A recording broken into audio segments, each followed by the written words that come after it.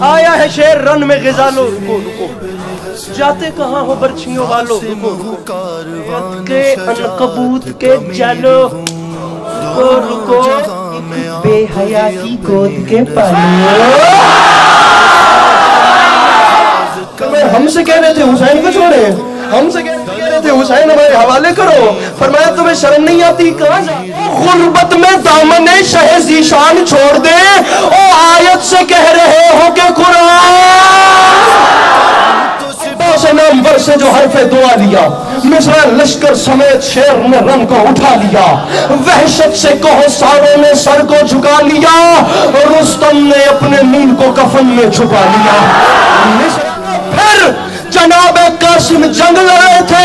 میدان کا منظر کیا تھا؟ عسکری معافی مانگ کے کہہ رہے مولا علی کا۔ ارے مولا علی کا!